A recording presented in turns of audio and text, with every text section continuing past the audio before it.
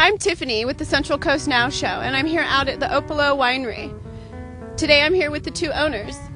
Hi, You want to introduce yourself? Rick Quinn. Rick Quinn, David Nichols. David Nichols. You want to tell me a little bit about the history of Opolo?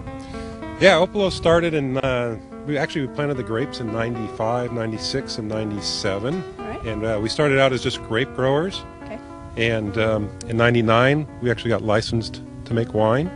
And uh, we opened up the tasting room in 2001. Put a couple boards across a couple barrels. Uh, put a sign up at the at the street. Uh, it was dirt drive all the way up, and uh, open today for wine tasting. And that was the start. 2001. We sold out the wine in about three months, and um, we've never looked back. All right. And Rick, I see an inn behind you. You want to tell me a little bit about the inn?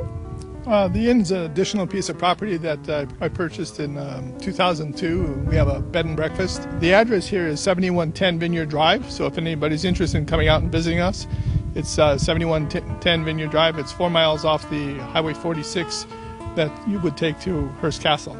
Okay.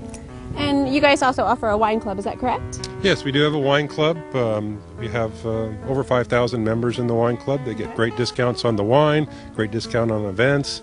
And um, I've had so many tell me that when they get their shipment, it's like Christmas. They don't know what's in the box, like the box of chocolates. They never know what they're going to get.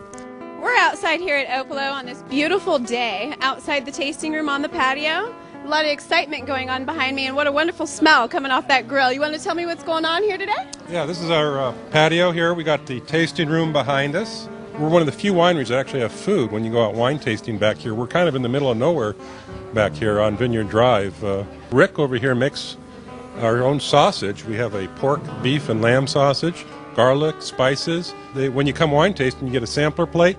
Go inside the tasting room, enjoy it with your uh, wine. Yeah, and uh, we do that on weekends, every Saturday and Sunday. Today we've got the wood-fired pizza oven going, so come in and have a pizza.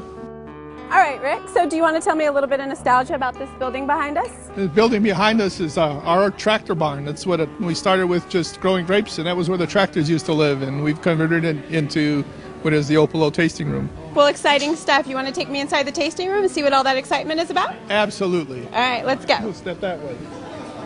All right, well, I'm here at Opolo inside the tasting room, and I've got Chance here with me. Chance, how long have you been here at Opolo? I've been at Opolo for two years now. All right, and tell me what's so exciting about your job. What's exciting about Opolo is the diversity of people that come through the tasting room and getting to help them out and make it truly the best wine tasting experience for them every single time. Well, thanks for joining us here today. We've had a great time. We've met a lot of nice people, and we'd like to invite you to come down here and join us.